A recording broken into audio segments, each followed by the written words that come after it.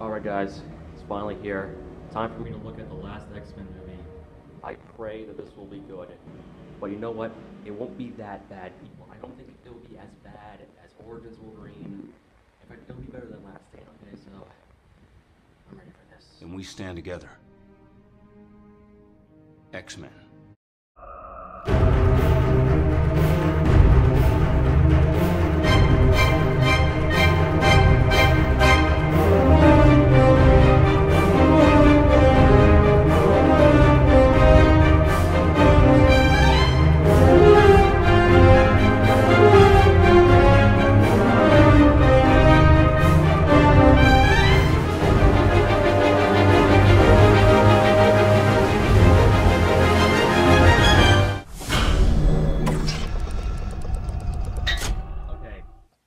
Now, a lot of people are saying this is the worst superhero movie ever made. I'm going to say this right now.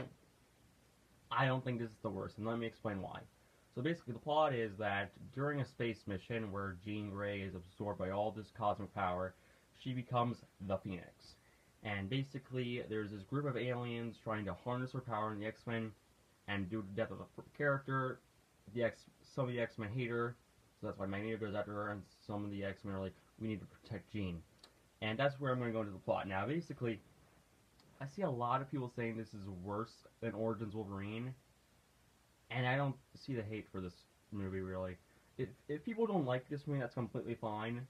But saying it's worse than something like Origins, you know, a movie that ruined Deadpool until 2016 in the movie industry, like, really, people? Worse than Origins? Worse than Fant4stic? Worse than Spider-Man 3 and Batman and Robin? Really, people? Really? I don't really see the hate for this movie. Let me explain why. First thing I like about this movie are the actors. All the actors do a phenomenal, do a really good job as always in this role. Michael Fassbender is always good. James McAvoy is always good. Sophie Turner does a really good job. In fact, there's a lot of moments in this movie where I was like, ugh. Like there's this one scene with her and Charles that actually felt like it was a horror movie. I'm not gonna tell you what happens in the scene, but when I was watching it, it felt like it was a horror movie. Yeah, that was that scary. And whenever, like, basically, here's the thing about Jean Grey's powers: you know it's going to come out. You know that she's going to have like an outburst at someone, but you don't know when. And when it does happen, stuff gets real. The other actors, I think, do a pretty good job. Um, I like Nightcrawler in this movie. Um, I do like how more serious this movie is. It's very serious due to the whole Dark Phoenix story, and they're trying to stop Jean from becoming this mutant hunting, this killer. And yeah, um, I'll admit one problem I do have with this movie. This is a major problem I do have with this movie. Is the scene between Mystique and Charles, and you know what scene I'm talking about? The, the we should be called X Woman scene. Everyone in my theater, even the girls in my theater, cringed at this line. It is that bad, people. The when they're saying something like, "Oh, we should go to X woman," and the women in my theater are cringing at this line, you know you failed at delivering this line, and it feels so forced, honestly. And that scene between her and Mystique is so stupid. She's all like, "Well, Charles, you never done anything. I don't remember the last time you did something important." Um, Mystique, did you watch the last two movies James McAvoy was in in this franchise? And Daisy. Okay, sorry about that. Something um, happened. My dog was barking. I just wanted to check on him. But yeah, to continue from my last point. Um, did you forget the last two movies, Mystique? Um, in Days of Future Past, he did all he could. He like basically spent the entire movie trying to save you, or else all of mutant kind would get killed in the future by Sentinels. Also, in Apocalypse, he let Apocalypse into his mind to save you and the other X-Men. So, yeah, kind of a jerk. Um, also, another problem I do with this movie is the villain. I do think their villains are kind of boring, honestly. But to be fair, in the X-Men movies, the only really good villains we've been having are Bolivar Trask and Apocalypse. Magneto, well, know, and Shaw, but Magneto, he's more of an anti-hero, but if he, but he is still a really good villain. He's my favorite Marvel villain, along with Venom, but still. Um, another thing I don't like about this movie is I do think the movie is kind of fast-paced. Like it's like go into this direction, go into this direction, and when it goes to a slow scene, while there are some slow scenes in this movie, like some scenes with Jean. But while there are intense, they do feel kind of slow, and it just feels like they're like coming to a massive halt. But yeah, um, that's really most of my problems with this film. And I know that this ending of the movie doesn't line up with the ending of Days of Future Past. I won't say that. I won't say what happens, but yeah. But to be fair, the X Men continuity is already screwed up. So, yeah, basically, you can say that um, in this franchise, um, Jubilee was um, American. No, Jubilee was a Chinese woman, and you probably believe it to how screwed up this timeline is. Or Mystique was actually red the entire time. You know what? Continuity goes screwed up. You can make that up. But yeah. But still, the things I do like in this movie. Of course, I like the actors. The action is really good, especially the last action scene. Dear God, that is amazing. I mean, it feels so creative and so much fun, especially with Nightcrawler. Like that scene with Nightcrawler was just awesome. It reminded me so much of an X of when his opening scene in X Men 2. It was so well done in my opinion.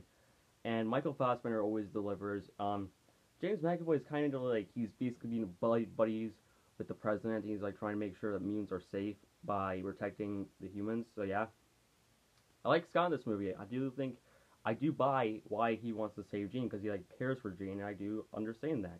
Um, I think he's a really good character, and I like him. And I am going to miss these actors, and I think they really did a good job in this movie.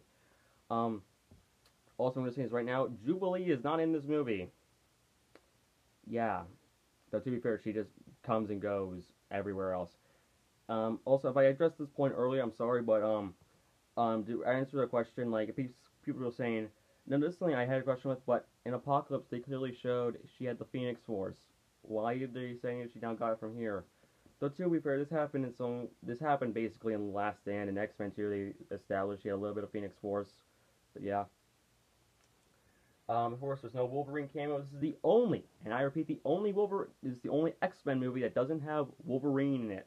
Nope, this is the only one since, you know, Hugh Jackman left and they can't hire a new guy. Fit in. They will when the MCU takes over them. Also, there is a character that has like an MCU thing on it. Like he's basically wearing a badge that says MCU, and I like that reference. I really did. So yeah, um, I like most of the action. There's like this one action scene in particular that's really cool. Not the last action scene, but before that. Um, and also, I do like Nicholas Hoult in this movie. I do think he has good chemistry with um, uh, Jennifer Lawrence. They always had good chemistry, in my opinion, and you really feel it for him in this movie. He does a really good job.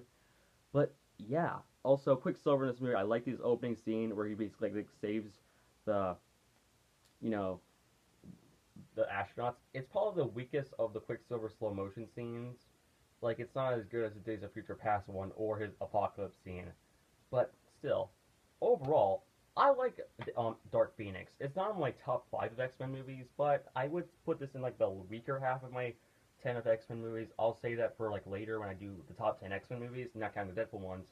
But yeah, overall rating, eight out of ten. I think this was a really good movie. I enjoyed myself. So yeah, that does it for the X Men franchise. Unless I decide to review Deadpool. So I guess my next review series will either be about Toy Story or Spider Man with Toy Story 4 coming out, and Spider-Man Far From Home coming out soon. We'll see you all later, and bye. Overall rating, 8 out of 10. Oh, and I forgot to talk about this. The F-bomb from Cyclops. I'll admit I kind of laughed a little bit due to, um, um, you know, um, Magneto's reaction. He's all like, if you touch Jean, I'll kill you. And Magneto's like, what are you saying, folks? Are you saying you can kill me? Really? Really, folks? And I just love that expression. Like, hmm? Yeah. But I do like um Dark Phoenix. I do think it's a good movie. Better than Last Stand, in my opinion. So yeah, overall rating, 8 out of 10. And I want to bring up this one moment that I did like. There's a scene between Jean and Magneto, and oh man, that scene was intense. Like, he keeps on asking her this one particular question, and you are all like, oh man, is she going to tell him? Is she going to tell him? And it's really well done, in my opinion. So yeah, I liked um I liked the Dark Phoenix. Overall rating, 8 out of 10. See y'all later, and bye.